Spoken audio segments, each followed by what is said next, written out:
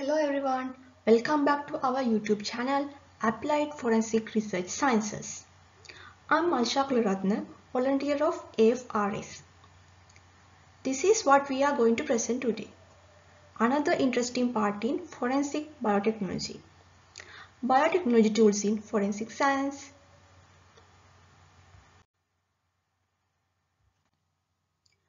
Do you know what is forensic biotechnologies? Forensic biotechnology refers to the application of biotechnology techniques and methods for investigating legal cases. DNA sequencing machine, PCR machine, gel electrophoresis apparatus, spectrophotometry and microarray are some common techniques and tools used in forensic biotechnology. Okay, let's discuss one by one. Our first topic is DNA sequencing.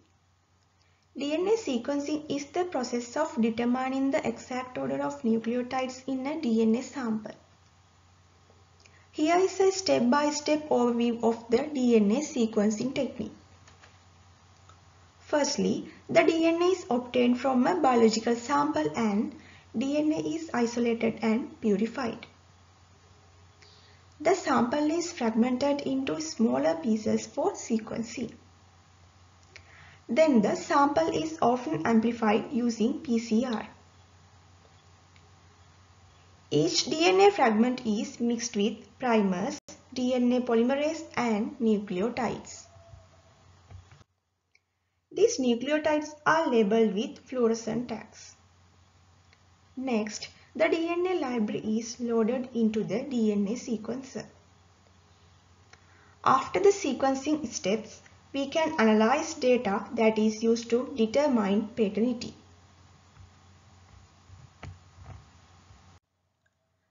Next we talk about PCR machine. The polymerase chain reaction is a method widely used to rapidly make millions to billion copies of a specific DNA sample. PCR method requires DNA or RNA sample DNA primers, DNA polymerase and nucleotide solution mix containing. PCR process has four steps. Denaturation, annealing, extension, repeated cycles. Now we watch a small video clip about PCR to understanding.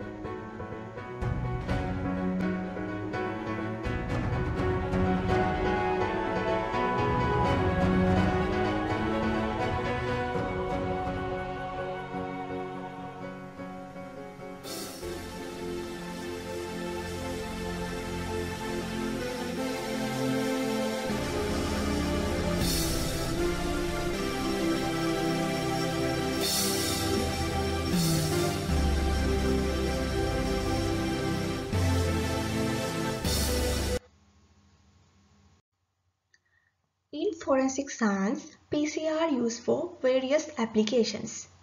DNA profiling, forensic pedigree testing, detection of pathogens. This is the challenge for you. Can you identify who the real father is? You can comment below. Now let us move on to our third topic, gel electrophoresis. Gel electrophoresis is a laboratory technique used to separate and analyze mixture of biological macromolecules based on their size, charge and shape. This is the procedure of gel electrophoresis apparatus.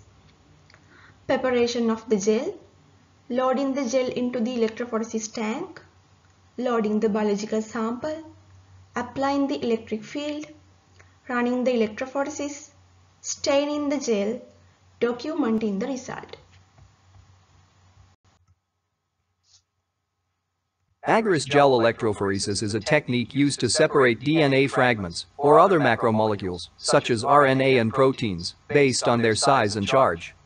The first step for DNA fragment separation is the gel preparation or gel casting an appropriate amount of agarose powder is weighed out. For standard agarose gel electrophoresis, larger molecules are resolved better using a low concentration gel, while smaller molecules separate better at high concentration gel. Once the agarose has been weighed, an appropriate buffer, such as TAE or TBE, is poured into the bottle.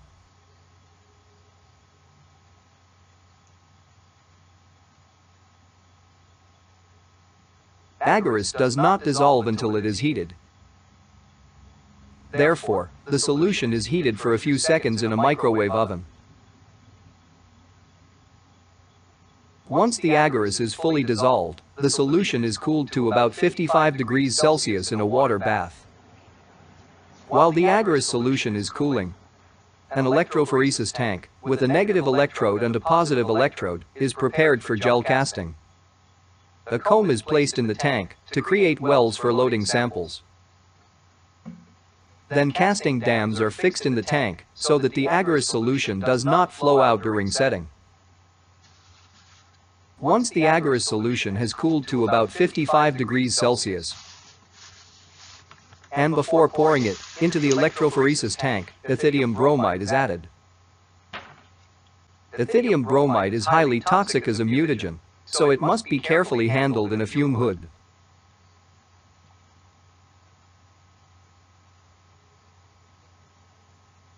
Ethidium bromide is an intercalating agent, which intercalates between base pairs of the DNA molecule. When it is exposed to ultraviolet light, it will fluoresce, and DNA bands become visible.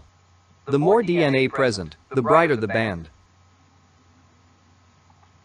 After addition of ethidium bromide, the agarose solution is poured into the electrophoresis tank. Then, the gel is allowed to solidify at room temperature. Once the gel has solidified, the comb is carefully removed, as well as the casting dams.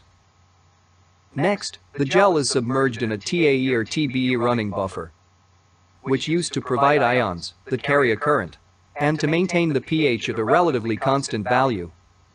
After the preparation of the agarose gel, the next step is the preparation of the DNA samples. A loading buffer is added to each sample. This buffer contains glycerol and certain dyes, such as bromophenol blue.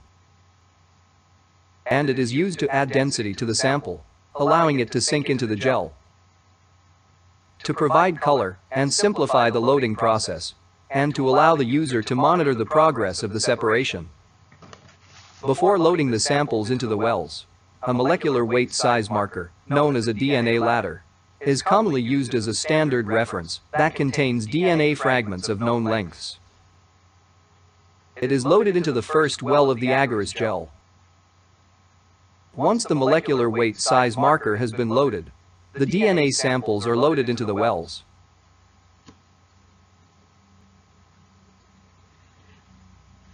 After adding the samples into the wells, a lid is placed on the electrophoresis tank. Then, an electric current is applied to pull the samples through the gel. Based on their charge and size, the DNA molecules will travel through the gel at different speeds. The DNA molecules have a negative charge because of the phosphate groups in their sugar phosphate backbone. Therefore, when placed in an electric field, DNA fragments start moving through the matrix of the gel towards the positive pole. Because all DNA fragments have the same amount of charge per mass, small fragments move through the gel faster than large ones.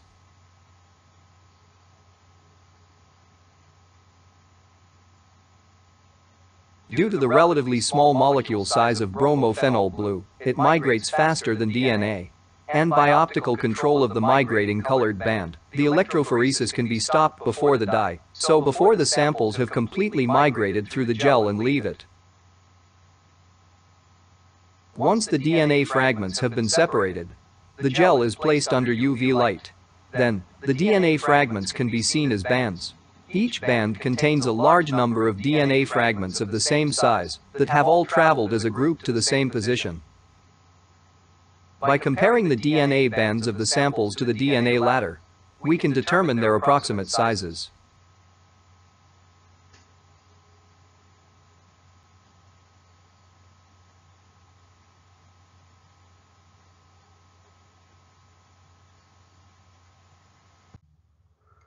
Okay, our next topic is spectrophotometry. The best analytical method for analyzing a variety of evidence including bodily fluids, narcotics and trace components discovered at the scene of the crime is spectrophotometry. Through spectrophotometry, we can identify smokeless powder, analyze fiber and analyze automotive paints and spectrophotometry is used in the investigation of biological materials to identify toxins or medications.